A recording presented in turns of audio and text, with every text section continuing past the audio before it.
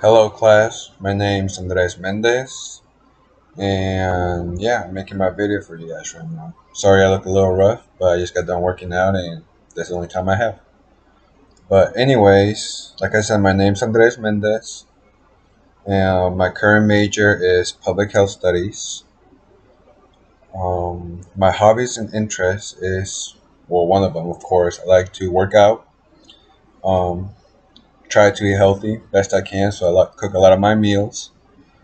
Uh, probably hang out with my dog too. She's a two-year-old Rottweiler that I have, and yeah, I mean, I like to do other things, but I can't think of anything on top of my mind. So, a life goal of mine is to hopefully move out the state here soon by next year, and to travel quite a bit of the world like two of my places I want to travel to are Egypt and Tokyo. So if I can do those two things, I think I'll be pretty happy. So that's just for now.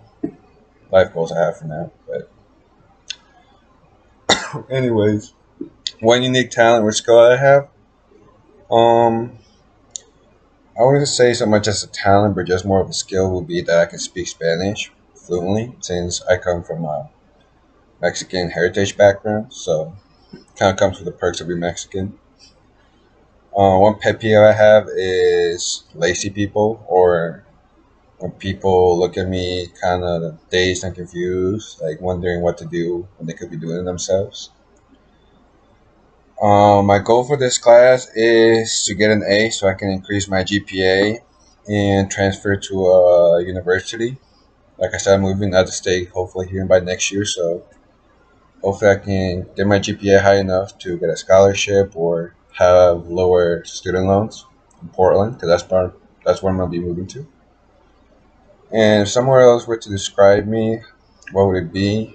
Um, so I'm pretty easygoing.